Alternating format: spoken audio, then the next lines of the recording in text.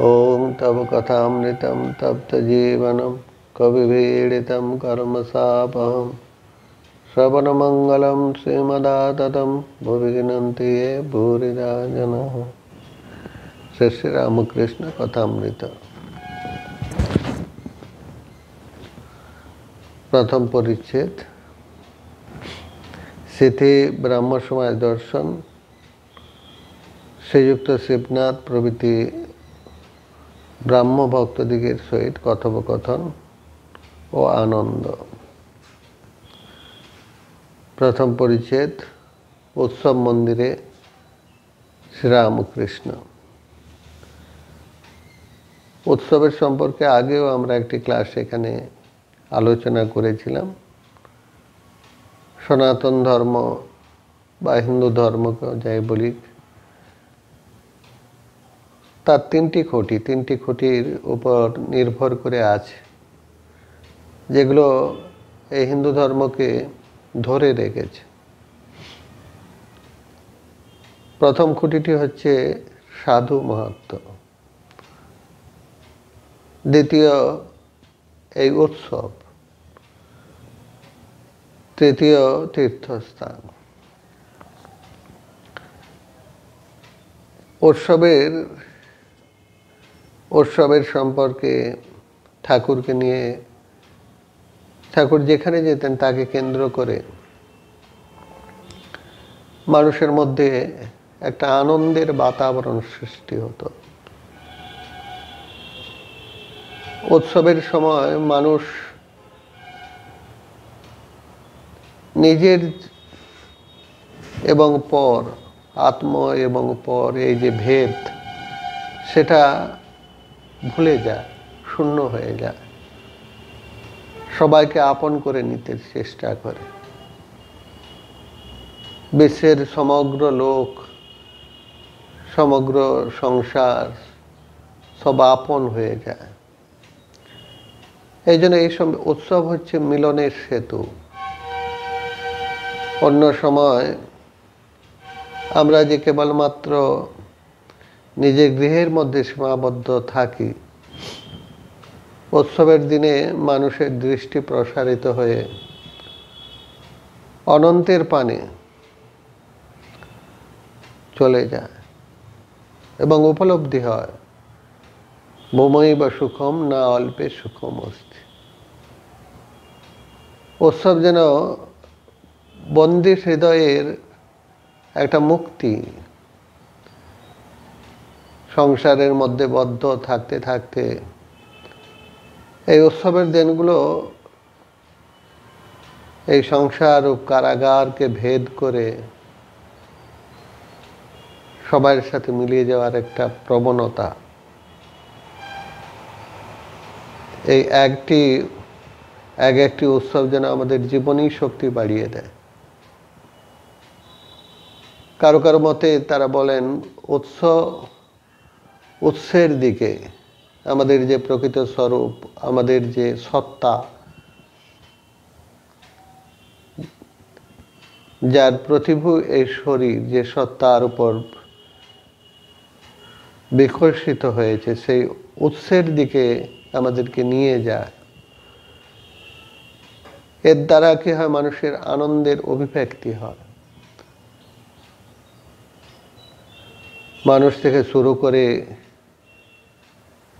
সবাই এই উৎসবে কোলাহলে মত্ত হয়ে যায়।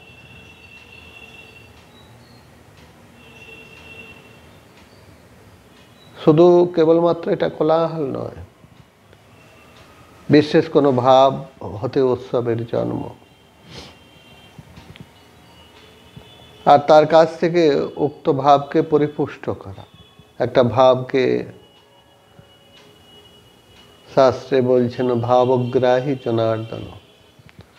ঈশ্বরের সম্পর্কে বলতে গিয়ে, ভগবানের সম্পর্কে বলতে গিয়ে বলছেন, ভাগবতে বলছেন, ভাবগ্রাহী জনার্দন। এক একটি লক্ষণীয় উৎসবই সমস্ত এইরূপ এক একটি ভাবকে আশ্রয় করে এই উৎসবের কাঠামো গড়ে উঠেছে। আমরা সবাই আনন্দের সন্তান।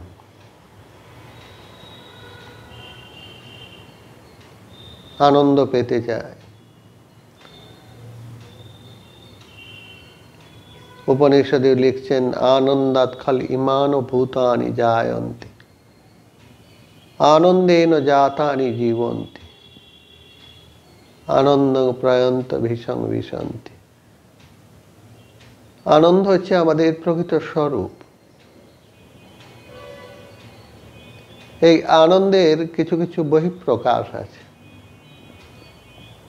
কখনো কখনো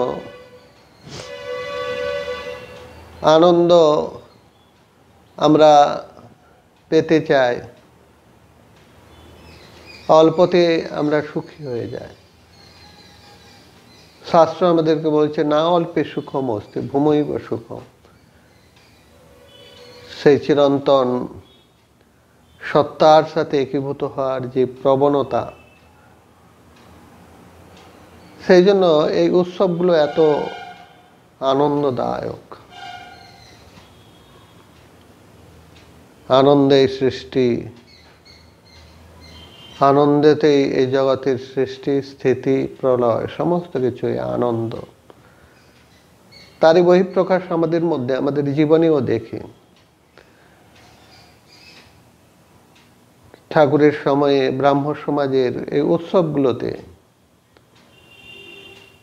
তারা শ্রীরামকৃষ্ণদেবকে আমন্ত্রিত করতেন। ঠাকুর আজকে এসছেন স্মৃতির ব্রাহ্ম সমাজ দর্শন করতে। আঠাশে অক্টোবর আঠারোশো বিরাশি খ্রিস্টাব্দের শনিবার, বারোই কৃত্তিক কৃষ্ণা দ্বিতীয়া তিথি আজ এখানে মহোৎসব, ব্রাহ্ম সমাজের ষান্মাসিক। তাই ভগবান শ্রীরামকৃষ্ণের এখানে নিমন্ত্রণ। বেলা তিনটে, চারটে সময় তিনি কয়েকজন ভক্তের সঙ্গে গাড়ি করিয়ে দক্ষিণেশ্বরে কালীবাটি হইতে শ্রীযুক্ত বেনি পালের বেনি মাধব পালের মনোহর উদ্যানবাটিতে উপস্থিত হইলেন। মাস্টারমশাই খুব সুন্দরভাবে তার বর্ণনা দিচ্ছেন। মাস্টারমশাই ঠাকুরের সংস্পর্শে আসার পূর্বে তিনি এই ব্রাহ্ম সমাজের সাথে খুব জড়িত ছিল। তাছাড়াও আমরা আগেও দেখেছি আগে আলোচনা করেছি। তখনকার দিনের শিক্ষিত সমাজ, বেশিরভাগ তারা এই ব্রহ্ম সমাজের সাথে যুক্ত ছিলেন। ব্রাহ্ম সমাজের তাদের যে কার্যক্রম ব্রহ্ম উপাসনা, এটি আমার ব্যক্তিগত অভিমত। জানি না আপনারা এর সাথে একমত হবেন কি না ব্রাহ্ম সমাজের যে ক্রিয়াকলাপ, ব্রহ্ম সাধনা ব্রহ্মচিন্তা এটা অনেক সময় আমাদের মতো আমরা এই আদর্শকে ভালোবাসতে পারি। আদর্শকে জীবনে গ্রহণ করতে পারি। কিন্তু তার যে প্রণালী, যার সাথে আমরা যুগ যুগ ধরে এ বাংলার মানুষ চৈতন্য মহাপ্রভু,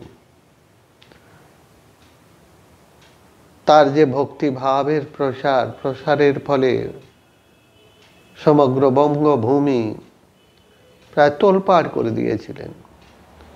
মানুষের রক্তের মধ্যে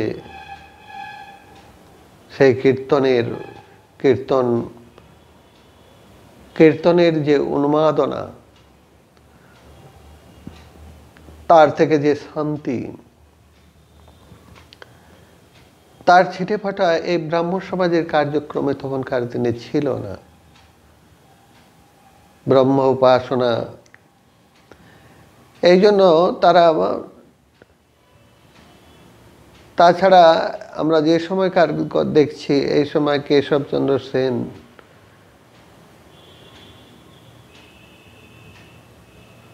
তার পরবর্তী যুগে, পরবর্তী সময়ে সেইরূপ ব্যক্তিত্ব যাকে দেখে মানুষ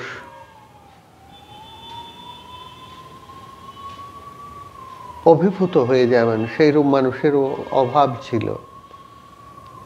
ঠাকুরের কাছে ঠাকুর এসছেন বেনি মাধব এই জন্য আমরা দেখব পরবর্তীকালেও এই কথা অমৃতে মাস্টার মহাশয় তিন, তিনবারের বর্ণনা দিয়েছেন। আজকে আমরা দেখছি আঠারোশো বিরাশি খ্রিস্টাব্দের আঠাশে অক্টোবর। আঠারোশো তিরাশি খ্রিস্টাব্দের এসেছেন এপ্রিল মাসে আঠারোশো চুরাশি খ্রিস্টাব্দে আবার তিনি এসছেন অক্টোবর মাসে এই উৎসবে যোগ দিতে। তাছাড়া গত ক্লাসে আমরা আলোচনা করেছি, সেটিও এখানে তার উল্লেখ করবেন। বেনিমাধব পালের মনোহর উদ্যানবাটিতে উপস্থিত হইলেন। এই উদ্যানবাটিতে ব্রাহ্ম সমাজের অধিবেশন হইয়া থাকে। ব্রাহ্ম সমাজকে তিনি বড় ভালোবাসেন। ব্রাহ্ম ভক্তগণ তাহাকে সতিশয় ভক্তি শ্রদ্ধা করেন। ইহার পূর্বদিন, অর্থাৎ শুক্রবার বৈকালে, কত আনন্দ করিতে করিতে সশিষ্য শ্রীযুক্ত কেশবচন্দ্র সেনের সহিত ভাগীরথী বক্ষে কালীবাড়ি হইতে কলিকাতা পর্যন্ত ভক্ত সঙ্গে স্টিমার করিয়া বেড়াইতে আসিয়াছিলেন। স্টিমারে করে তিনি এসছেন সেই ঘটনা আমরা গত ক্লাসে আলোচনা করেছি। এবং তার আগেও আমরা দেখেছি এই কেশবচন্দ্র সেনের সাথে এসছেন এই গঙ্গা বক্ষে। তাদের উৎসব আদি হচ্ছে, সেখানে শ্রীরামকৃষ্ণদেব উপস্থিত। সেটি পাইকপাড়ার নিকট বেনিমাধব পালের বাড়ির যে বাগান বাটি, তার বর্ণনা দিচ্ছেন সেটি পাইকপাড়ার নিকট কলিকাতা হইতে দেড় ক্রোশ উত্তরে। উদ্যান বাটিটি মনোহর বলিয়াছে। স্থানটি অতি নিভৃত। ভগবানের উপাসনার পক্ষে বিশেষ উপযোগী। উদ্যান স্বামী বৎসরে দুইবার মহোৎসব করিয়া থাকেন। একবার শরৎকালে আর একবার বসন্তে। ঠাকুর এখানে দুটি সময় এসছেন। এই মহোৎসব উপলক্ষে তিনি কলিকাতা ও সিথির নিকটবর্তী গ্রামের অনেক ভক্তদিগকে নিমন্ত্রণ করিয়া থাকেন। তাই আজ কলিকাতা হইতে শিবনাথ প্রভৃতি ভক্তগণ আসিয়াছেন।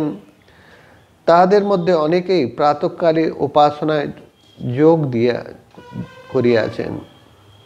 আবার সন্ধ্যাকালীন উপাসনা হইবে তাই প্রতীক্ষা করিতেছেন। বিশেষত তারা শুনিয়াছেন, অপরাহ্নে মহাপুরুষের আগমন হইবে। মহাপুরুষ শ্রীরামকৃষ্ণদেব সম্পর্কে বলছেন, এবং তাহার আনন্দমূর্তি দেখিতে পাইবেন। তার হৃদয় মুগ্ধকারী কথামৃত পান করিতে পাইবেন তাহার সেই মধুর সংকীর্তন শুনিতেও দেব দুর্লভ হরি, হরিপ্রেমময় নৃত্য দেখিতে পাইবেন। ঠাকুরের জীবনে আমরা যদি দেখি, প্রথম জীবনে তিনি সাধন ভজন করে, সাধন ভজনের তার বেশিরভাগ সময় অতিবাহিত করেছেন। পরবর্তীকালে এই ঈশ্বরীয় তত্ত্ব যাতে মানুষের মধ্যে প্রচার হয় ভগবানের কথা মানুষের কাছে যাতে প্রচার করা যায় সেই দিকে তার দৃষ্টি ছিল। এবং তিনি এই কলকাতার বিভিন্ন জায়গায়, শুধু কলকাতার নয়, অন্যান্য স্থানেও বিভিন্ন জায়গায় তিনি গিয়েছেন। যেখানে ঈশ্বরের কথা, যেখানে ভক্তরা সম্মিলিত হচ্ছেন, সেখানে অনেক সময় নিজেই উপস্থিত হয়েছেন। ভক্তরা সেখানে উপস্থিত করছেন, তারা অপেক্ষা করছেন। অপরাহ্নে যে মহাপুরুষের আগমন হবে, তার আনন্দ মূর্তি দেখিতে পাইবেন। তার হৃদয় মুগ্ধকারী কথামৃত পান করিবেন এবং মধুর সংকীর্তন শুনিতে ও দেবদুর্লভ হরিপ্রেমময় নৃত্য দেখিতে পাইবেন। অপরাহ্নে বাগানটি বহু লোক সমাকীর্ণ হইয়াছে। কেহ লতা মণ্ডপচ্ছায় কাষ্টাসনে উপবিষ্ট, কেহ বা সুন্দর বাপি তটে বন্ধু সমবিহারে বিচরণ করিতেছেন। অনেকেই সমাজগৃহে শ্রীরামকৃষ্ণের আগমন প্রতীক্ষায় পূর্ব হইতে উত্তম আসন অধিকার করিয়া বসিয়া আছেন। উদ্যানের প্রবেশদ্বারে পানের দোকান, প্রবেশ করিয়া বোধ হয় যেন পূজার বাড়ি। রাত্রিকালে যাত্রা হইবে, চতুর্দিক আনন্দে পরিপূর্ণ, শরতের নীল আকাশে আনন্দ প্রতিভাসিত হইতেছে। উদ্যানের বৃক্ষলতা গুল্ম মধ্যে প্রভাত হইতে আনন্দের সমীরণ বহিতেছে। সকাল থেকেই সে আনন্দের বাতাবরণ, আকাশ জীবজন্তু বৃক্ষলতা যেন একটানে গান করিতেছে। আজি কি হরস সমীর বহে প্রাণে, ভগবত মঙ্গল কিরণে। সকলেই যেন ভগবত দর্শন পিপাসু এমন সময় শ্রী শ্রী পরমহংসদেবের গাড়ি আসিয়া সমাজবৃগের সম্মুখে উপস্থিত হইল। সকলেই গাত্রোত্থান করিয়া মহাপুরুষের অভ্যর্থনা করিতেছেন। তিনি আসিয়াছেন, চারিদিকের লোক তাহাকে মণ্ডলাকারে ঘেরি ঘেরিতেছে মাস্টারমশাই কি সুন্দরভাবে বর্ণনা করে ফুটিয়ে তুলেছেন।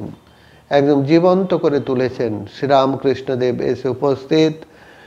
উপস্থিত সমস্ত ভক্তমণ্ডলী চারদিকে মণ্ডলাকারে ঘেরিয়ে ধরে আছেন। সমাজগৃহের প্রধান প্রকোষ্ঠ মধ্যে বেদি রচনা হইয়াছে। সেই স্থানে লোকে পরিপূর্ণ। সম্মুখে দালান, সেখানে পরমংশদেব সমাসীন, সেখানেও লোক। আর দালানের দুই পার্শ্বস্থিত দুই ঘর, সে ঘরেও লোক। ঘরের দ্বার দেশে উদ্গ্রীব হইয়া লোকে দণ্ডায়মান। দালানে উঠিবার সোপান পরম্পরা এক প্রান্ত হইতে অপর প্রান্ত পর্যন্ত বিস্তৃত। সেই সোপানেও লোকে লোকারণ্য। কত লোক হয়েছেন, সিঁড়িতেও লোক বসে আছে। সোপানের অনতি দূরে দুই তিনটি বৃক্ষ, পার্শ্বে লতামণ্ডপ, সেখানেও কয়েকখানি কাষ্টাসন। তথা হইতে লোক উদ্গ্রীব ও উৎকর্ণ হইয়া মহাপুরুষের দিকে দৃষ্টিপাত করিতেছে। চারিদিকে লোকে লোকারণ্য। শ্রীরামকৃষ্ণকে দেখবার জন্য শ্রীরামকৃষ্ণদেবের মুখনিসৃত, কথামৃত শুনবার জন্য। সারি সারি ফল ও পুষ্পের বৃক্ষ, মধ্যে পদ। বৃক্ষ সকল সমীরণে ঈষৎ হেলিতেছে, দুলিতেছে।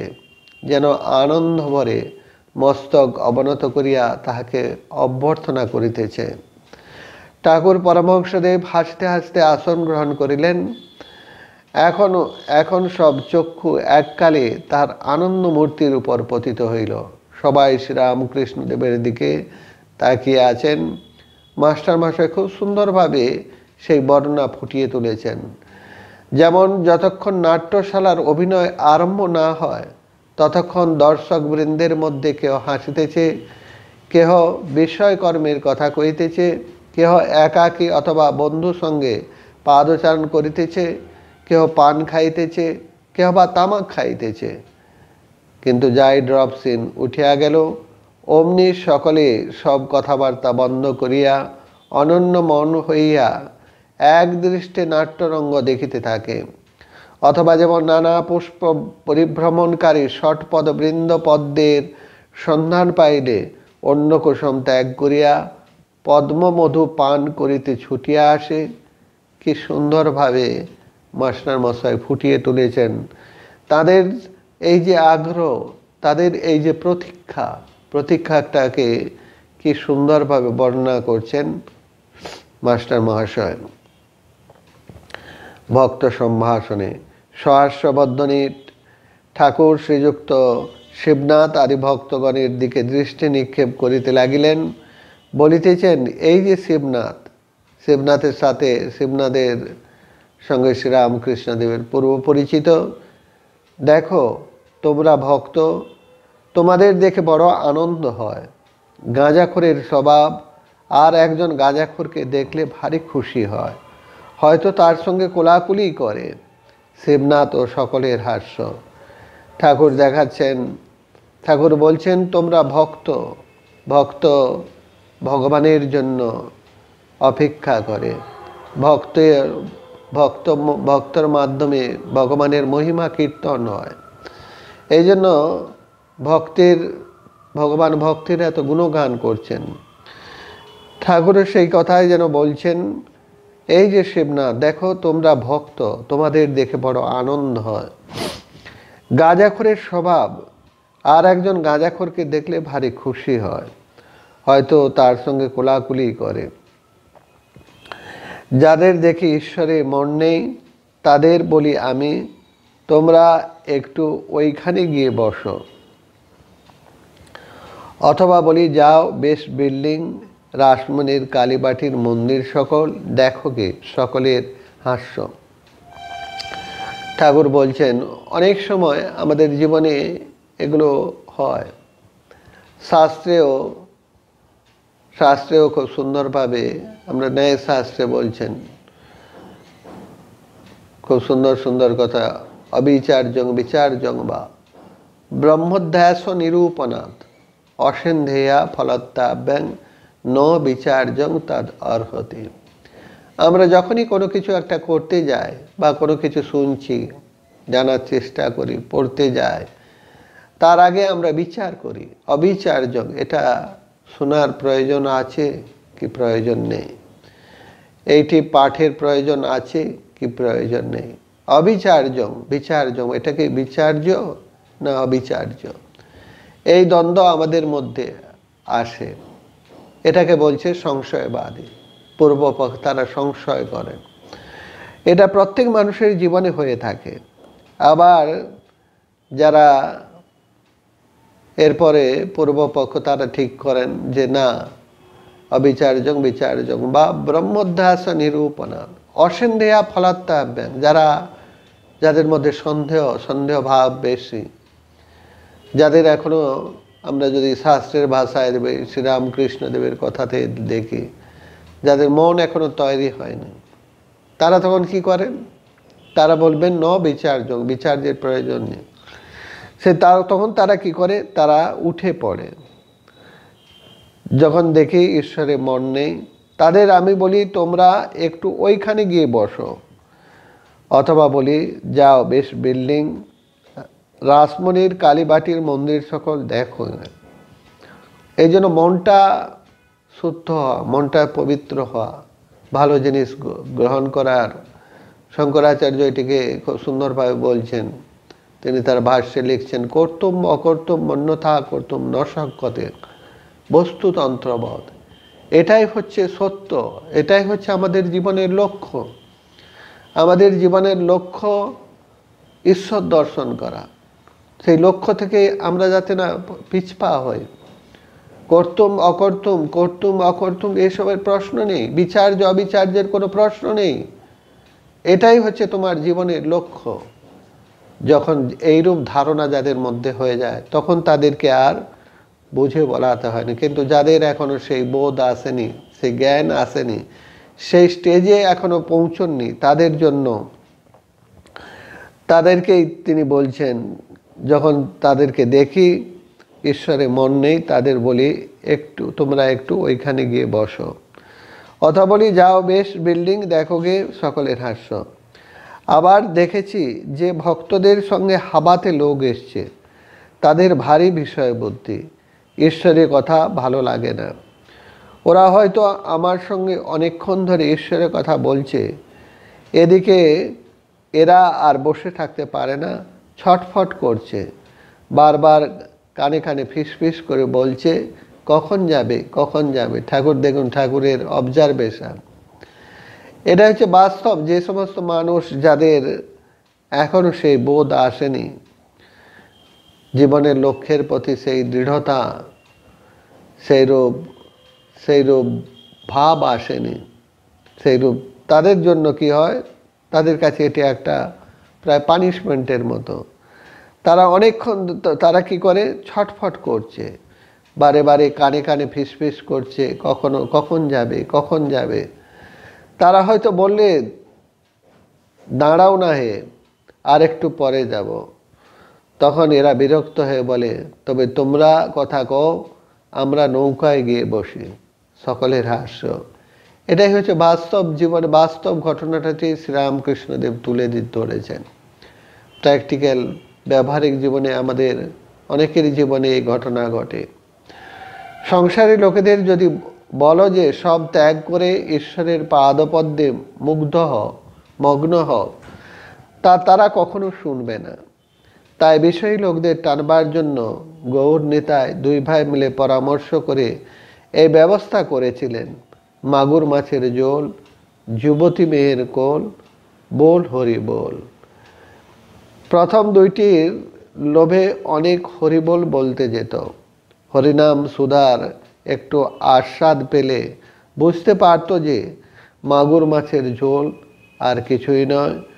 হরিপ্রেমে যে অশ্রু পড়ে তাই যুবতী মেয়ে কিনা পৃথিবী। যুবতী মেয়ের কোল কিনা ধুলায় হরিপ্রেমে গড়াগড়ি। নিতাই কোনো রকমে হরিনাম করিয়ে নিতেন। চৈতন্যদেব বলেছিলেন, ঈশ্বরের নামের ভারী মাহাত্ম এখানে ঠাকুর বলছেন, সংসারী লোকেদের, তিনি বলছেন যে তাদেরকে যদি ত্যাগের কথা বলা যায়, তখন তারা সেটা নিতে পারে না। তারা তখন সেটাকে ঠিকভাবে গ্রহণ করতে পারে না। তাই বিষয়ী লোকদের টানবার জন্য চৈতন্য মহাপ্রভু তিনি এই দুটোর কথা বলছেন। মাগুর মাছের ঝোল, যুবতী মায়ের কোল, বোল হরি বোল। প্রথম দুটির লোভে অনেকে হরিবোল হরিবোল বলতে যেত। হরিনাম সুদার একটু আস্বাদ পেলে বুঝতে পারত মাগুর মাছের ঝোল আর কিছুই নয়। হরিপ্রেমে যে অশ্রু পড়ে তাই।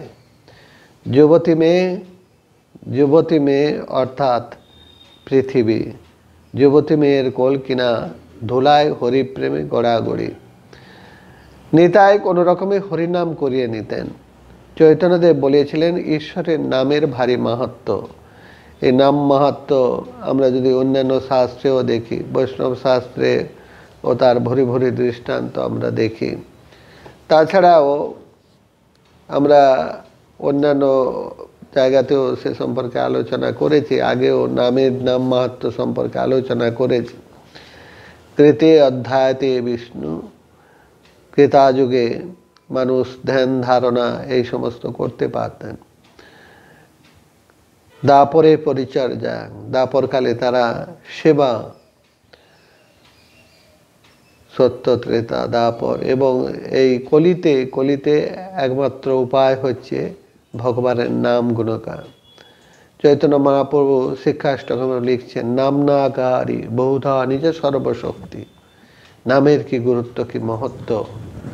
নাম, ঈশ্বরের নাম, যে সমগ্র, যে স্বামীজি বলছেন, সমগ্র জগৎ নাম রূপাত্ম। নাম এবং রূপ ছাড়া আর কিছুই না। আপনি কোনো কিছু এই নাম এবং রূপ ছাড়া চিন্তাই করতে পারেন না।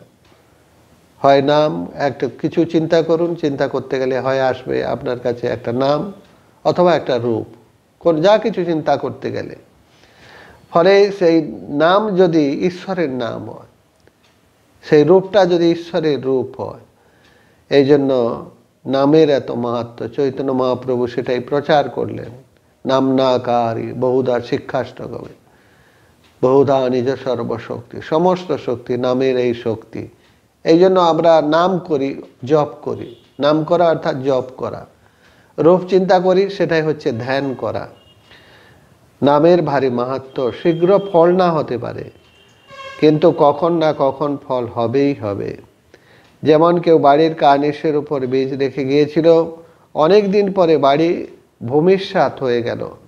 তখন তখন সেই বীজ মাটিতে পড়ে গাছ হলো আর ফল হলো। এই জন্য কলিতে নাম মাহাত্ম নামের এত গুরুত্ব, ভগবানের নাম সংকীর্তন।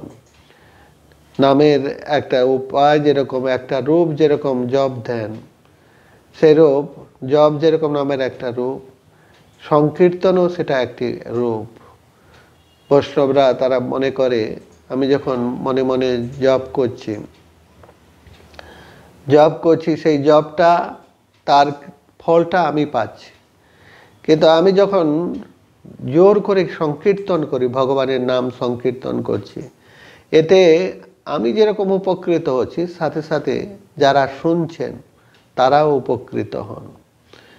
এই জন্য বলছেন, নাম মাহাত্ম, শীঘ্রই ফল না হতে পারে, কিন্তু ফল কখনো না, কখনোই হবেই হবে। ঠাকুরের, ঠাকুর আরও অনেক কিছু কথা তিনি সেখানে আলোচনা করবেন।